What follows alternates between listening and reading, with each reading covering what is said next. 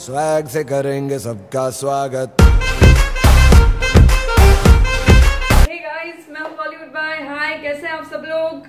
And let's get started with review of Tiger Zinda the mega release of 2017 जिसके लिए सब लोग wait कर रहे थे। तो बिना कुछ टाइम गवाए आज थर्सडे है और मैंने फ़र्स्ट शो देखा 7 AM in the morning in Dubai और मैं क्या कहूँ यार this is the first time that I have seen so much of crowd in a theatre सुबह के शो में। Whenever I used to be seeing the movie, मैं थिएटर में हमेशा अकेली रहती थी एंड यू नो कोई होता नहीं था क्योंकि वो फ़र्स्ट डे होता है। Thursday is a working day guys please note that और आज इतनी ऑडियंस थी मूवी में इट्स जस्ट सलमान का craze and nothing else Tiger Zinda Hai is unstoppable तो जल्दी से घुमा फिरा के ना बात करके स्ट्रेट टू द पॉइंट आते हैं। लेकिन उससे पहले कहानी जैसे कि आप सब लोग जानते हैं इट्स सेम एज कि वो जो ट्रेलर में दिखाया गया है, सब वैसा ही है। The best part of Tiger Zinda Hai, मुझे पर्सनली ये लगी कि मुझे बहुत खुशी हुई है जानकर। It's not only about those nurses purchase nurses जो कैद में हो गई हैं बाय आईसीएन इराक में है वो इक्रेट हॉस्पिटल को टारगेट किया गया है।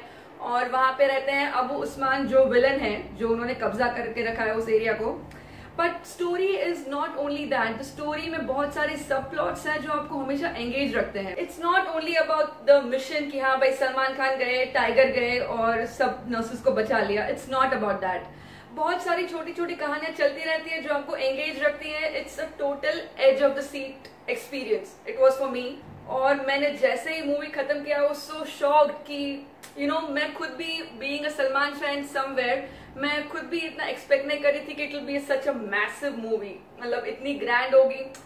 हाइप तो देखो, है ही, रखा है ये मूवी में but it's more about the story the substance the style the locations और सलमान की मूवी में हम हमेशा ऐसा कहते रहते हैं कि कोई स्टोरी नहीं होती। उन लोगों के लिए please go and watch tiger ज़िंदा है। सलमान खान की क्या बात करें यार? उनके डोले शोले, उनकी एक्टिंग उनकी आईज उनका अंदाज, उनका एटीट्यूड ही फियर्स उनका कॉन्फिडेंस देखने लायक है। और वो इतनी गट्सी एक्शन हीरो के रूप में हमने उनको कई बार देखा होगा but this is the first time he is in full जोश। तो कभी भी ऐसा लगता नहीं कि उन्होंने कैरेक्टर छोड़ा हुआ है। यहाँ पे वो सलमान खान के जो भी वो टैक्टिस यूजुअली करते हैं, वो उनका स्टाइल अंदाज, वो भी यहाँ पर है। But it's mostly about tiger over जो अविनाश सिंह उनका रियल नेम होता है। और it's not a one man show it's totally not a one man show Salman Khan तो है ही मूवी में, लेकिन उनके साथ जो उनकी टीम होती है जोया होती है, जो विलन होते हैं, इन सबने मिलकर इस मूवी को बहुत ही ज़बरदस्त बनाया है। अब बात करते हैं Katrina Kaif I was surprise by her acting wow women empowerment इतना फियर्स लुक कई सारी ऐसी जगह हैं जो वो सलमान को बचाती हुई नज़र आती हैं। सलमान हमारे हीरो तो हैं ही, सबको रेस्क्यू करते हैं। वो वो सब अपनी जगह पे ठीक है। बट कैटरीना यहाँ पे कोई तरीके से सलमान से कम नहीं लगती हैं। She is perfect she is amazing उन्होंने बहुत अच्छा साथ दिया है सलमान खान का और वो जोया के कैरेक्टर में बिल्कुल वही फिट होती है। जहाँ हमने पहले देखा, एक था टाइगर में it was mostly about like the romance between the both of them और एक रोमांटिक एंगल था राइट इंडिया पाकिस्तान एंड दो आई एस रॉ के और आई एस एस के एजेंट आते हैं। But here it's more about serious business कि यार रेस्क्यू करना है, कोई फालतू के गाने नहीं है। एक जो दिल दी गलियाँ, जो फ़र्स्ट सॉन्ग है, वो स्टार्टिंग में ही आ जाता है और स्वैक्सी स्वागत लास्ट में आता है।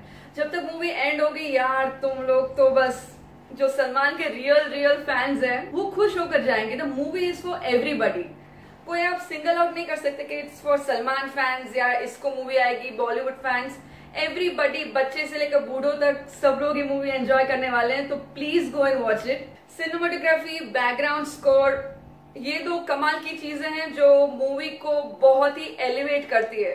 स्टोरी है ही सलमान खान है ही कैटरीना है ही बट उसके साथ साथ बैकग्राउंड जो टाइगर का सिग्नेचर ट्यून है, वो बहुत ही अच्छी तरीके से ब्लेंड होता है. और वही आपका एड्रेलिन पंप करता है कि वाओ हर सीन में आपको ऐसा लगेगा कि चाहे सलमान की एंट्री हो चाहे बिगनिंग में चाहे क्लाइमैक्स में क्लाइमैक्स में जो उन्होंने बॉडी दिखाई है please watch out for it generally मुझे ऐसा हीरो सब शर्ट उतारते रहते हैं वैसा सब अच्छा नहीं लगता बट uh, यहाँ पे just watch it to find out what I'm exactly saying. I'm super excited as you can see.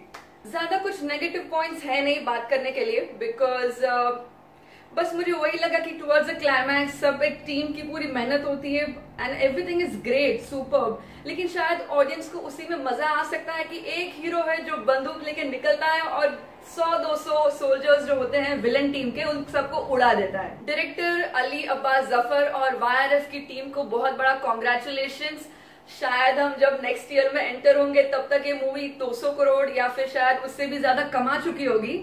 UAE में तो भाई धूम है और कल ये रिलीज़ होने वाली है ऑल ओवर इंडिया तो रिस्पॉन्स ऑलरेडी ग्रेट है एंड आई के not wait to for you guys to watch the movie तो please guys do watch this film और अपने रिव्यूज़ लिखना मत भूलिएगा। मैं हूँ बॉलीवुड बाय और मेरा ट्विटर हैंडल है नील्स राव और सारे जो ट्वीट्स आज मैंने मॉर्निंग में किए थे, वो सब आप वहाँ पे जाके पढ़ सकते हैं। तो वो ट्वीट्स काफ़ी फ़ेमस हो गए हैं सब जगह पे ब्लॉग्स में and I am very happy and I am very thankful for your artist for your support so far and guys please subscribe to my channel subscribe दो काम कीजिएगा please press the like button और comment में कुछ लिख दीजिएगा। आप movie देखने वाले हैं, आप ऑलरेडी देख चुके हैं या आपका क्या थॉट्स है मूवी के बारे में? ऑनेस्टली स्पीकिंग जैसे मैंने आपको बोला, मैं खुद नहीं सोच रही थी कि मुझे मूवी इतनी पसंद आएगी बट कमाल, धमाल, मालामाल। Last things guys happy new year happy 2018 मैं जा रही हूँ यूरोप और I will catch you guys on third of January मेरा वेकेशन तो बहुत ही अच्छा जाने वाला है। I am just flying tonight और इसलिए मैंने मेहनत की कि मैं मूवी में इसलिए आई थॉट कि मुझे सुबह ही मूवी देख लेनी चाहिए ताकि मैं आपको रिव्यूज़ बता सकूँ and I could put this out on my YouTube channel right so guys please share this please like and subscribe to my channel तो for more genuine and authentic movie reviews stay tuned see you next year bye from Bollywood bye